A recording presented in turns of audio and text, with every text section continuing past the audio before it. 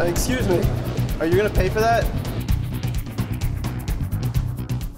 Would you steal from an off-campus restaurant or convenience store? Stealing from the dining hall is no different. Students who steal are put on probation, forced to pay the price of the stolen goods, and have to complete educational sanctions.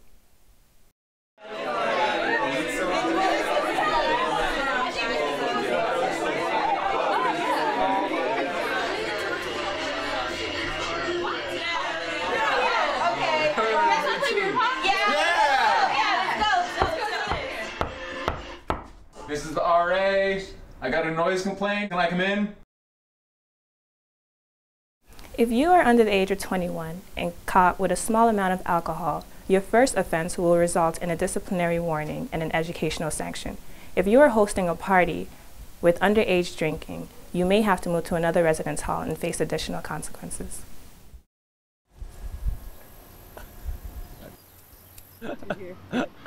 Dude, shh, you're being so loud right now. I can't help it. Some seriously good stuff right here. Dude, oh god.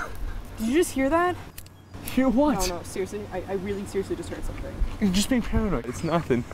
All right, you two, stay where you are. I've got two students smoking behind CIW. If you are caught smoking or carrying a small amount of marijuana, your first offense will result in a year of disciplinary probation and educational sanctions. If you are caught selling pot, you will be suspended for at least one semester.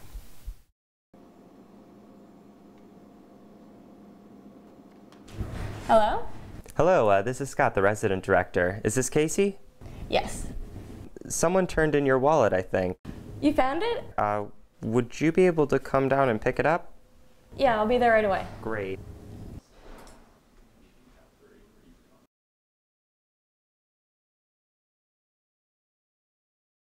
Hi, Casey. Uh, well, here you go. Uh, can you confirm everything in there is yours?